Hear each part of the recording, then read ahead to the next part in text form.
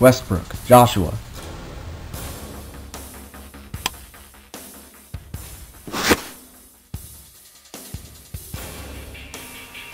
The subject's name is Bruce Banner, more popularly known as the Hulk. The Hulk is sometimes on our side, sometimes not, but the Avengers have claimed war on Egg and Hulk is part of the Avengers, so I'm doing a threat assessment on him now. The Hulk has quite a few abilities, number one being his unlimited strength. The Hulk has no boundaries, no limits, no end to his power. Not one that I've seen, not one that's registered. He is literally a walking ball of strength.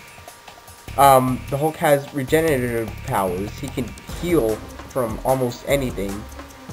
I think it has something to do with the gamma radiation running through his blood, but that's just me. He also has a very devastating thunderclap that can level city blocks. You can see why this guy is dangerous.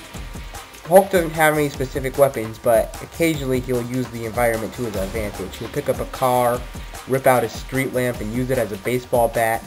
He can use chunks of the street and just throw them at you, and he often likes to do things like this. So, Hulk is a maximum threat.